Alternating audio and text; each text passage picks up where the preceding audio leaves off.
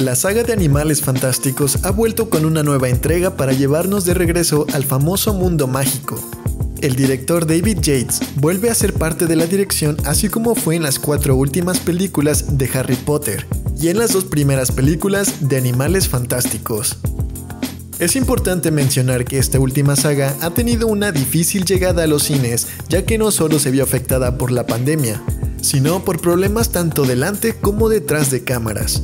Esto se vio reflejado cuando el estudio decidió remover a Johnny Depp, quien interpreta al villano Gellert Grindelwald, debido a las denuncias por abuso doméstico en su contra.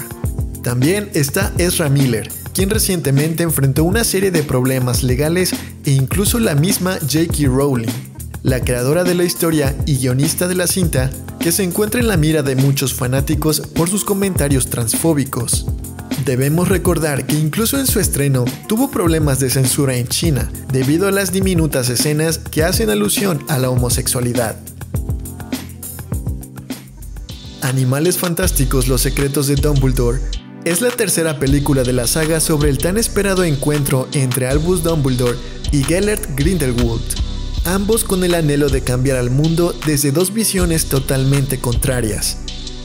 Aquí es donde nos encontramos a un Dumbledore incapaz de enfrentar a Grindelwald debido al pacto de sangre que hicieron años atrás, lo que lleva al director de Hogwarts a reunir a un grupo para tratar de detener los avances de su rival. Este nuevo ejército de Dumbledore está conformado por Newt Scamander, su hermano menor Theseus, la asistente de Newt, Bonty, la profesora Eulalie Hicks, Yusuf Kama y al mogul panadero Kowalski. Todos ellos tratarán de luchar contra Grindelwood y sus seguidores, conformado principalmente por Credence y la bruja vidente Queenie. Uno de los principales objetivos de esta saga es expandir el mundo mágico y sus capacidades.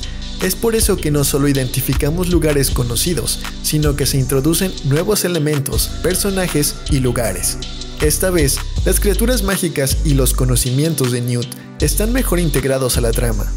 Otro punto a favor es la presencia de los actores Jude Law y Matt Mikkelsen, estos dos personajes que se llevan los mejores momentos de la película. Y es que Mikkelsen resultó ser una gran opción para encarnar a Grindelwood, quien a pesar de sus siniestras intenciones, logra conjugar una cierta calidez y simpatía, que deja en claro por qué hay muchos quienes quieren seguir sus pasos. Si ya viste esta película, compártenos tu opinión en la sección de comentarios.